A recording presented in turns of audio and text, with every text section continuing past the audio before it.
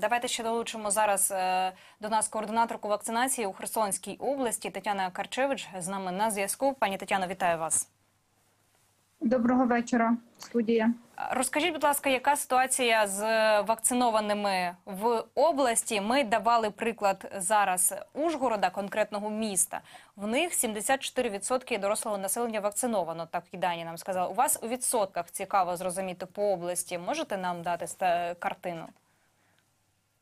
Е, на сьогодні в Херсонській області нараховується мільйон 23 тисячі 856 осіб всього населення. Всього Угу. це мається на увазі і дитячі, Так. і доросле. Якщо брати в перерахунку на цю кількість населення, у нас в області сьогодні першою дозою охоплено 28%, другою дозою охоплено 19%. Це з Чи є на все можливість населення. е, приблизно уявлення, скільки дітей так ну е, населення не дорослого, щоб його виключити? Тому що по Ужгороду ці цифри за виключенням дитячого населення. Е, е, Зрозуміло, є в нас е, до 18 років дитяче населення, яке обліковується. Його нараховується 196 тисяч. І Мгм. е, на сьогодні, якщо брати тільки доросле населення, його 885 тисяч. То в перерахунку виключно на доросле населення ми вже маємо за 30% населення, яке отримало другу дозу щеплення. Чи у вас така ж сама ситуація? Є, е, чи є нагадайте, будь ласка, по області, яка зона, які обмеження наразі діють? Ем, У нас е, в- Херсонська область 15 е, жовтня Так. перша область в Україні, яка запровадила червоний рівень під Так. І чи саме зв'язку вакцинація була спровокована е, обмеженнями? Тому що по інших областях я бачу, що воно ну, по Києву так точно. Я просто бачу ці черги е, по Києву, і вони всі з'явилися саме коли мали вже впроваджувати червону зону. Чи у вас е, сплеск вакцинації? саме- Аналогічна, Мгм. Аналогічна ситуація і по Херсонській області, і сплеск вакцинації е, зріс під час е, червоного рівня е, під небезпеки, і зв'язано це з тим, що кардинальні зміни по відношенню до працюючих осіб і по відвідуванню різних закладів, в тому числі і торговельних закладів.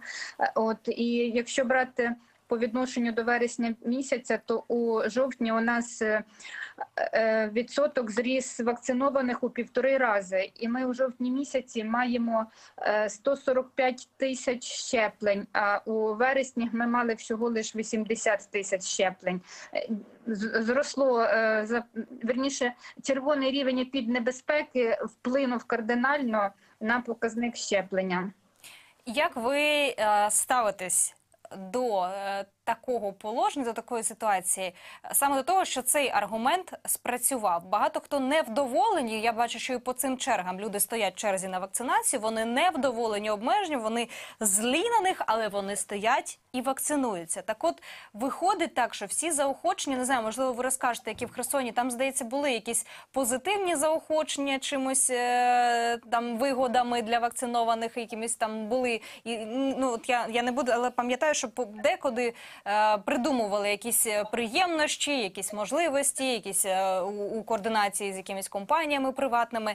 Так, от це все не працювало влітку, запрацювало лишень ну такий легкий батіг, коли е, ставили обмеження. Чи е, добрий цей варіант, якщо він працює, е, як ви його оціните? Ви знаєте, я також думаю, що е, на збільшення такого стрімкого зростання показника щеплення е, впливає і та картина по захворюваності, і по ем, кількості тяжких випадків, е, і по тяжкому перебігу, тяжкому перебігу е, самої коронавірусної інфекції, і по кількості тих летальних випадків, які на сьогодні ми маємо. Е, я думаю, що е, в також впливає і на е, людей, які хочуть зберегти своє життя і здоров'я, тому вони масово е, відвідують як пункти щеплення, так і центри вакцинації, так і тимчасові е, точки щеплення. З іншої сторони, кардинальні зміни, такі стрімкі зміни, які вплинули. Постановою кабінету міністрів на наше населення, на жаль, але воно має такий вплив е, батога і пряника, але е, іншого виходу на сьогодні у нас немає, тому що в літній період таких черг не було. В літній період люди відпочивали і думали, що у нас е, третього е, третьої хвилі пандемії е, на території України не буде. Але Так, є проблема з тим, що зараз е, ці черги інша ситуація. Ці черги, які концентруються біля пунктів вакцинації, вони також є е, як масовий захід ризиком захворіти. Що робите чи робите щось в області для збільшення пунктів, щоб черги е, були розподілені між ними і відповідно менше людей стояли у натовпі і чекали вакцинації?